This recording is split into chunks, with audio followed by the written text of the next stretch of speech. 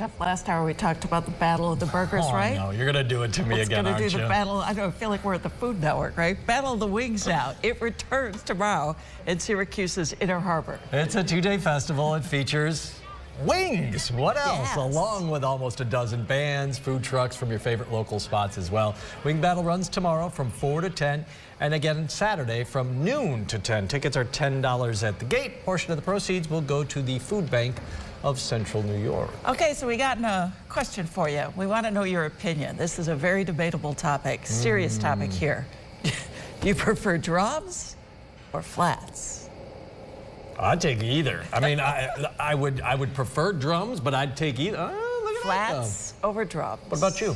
I'm I'm a I'm, I like flats. Okay. Yeah, I like flats, I yeah. wouldn't push a plate of any any Flats, variety tops, away. drums. Yeah. There you go. Hot, mild. What are you? Mild. Barbecue. Yeah. Yeah, a little blue cheese on the Okay, side. okay. Or ranch dressing.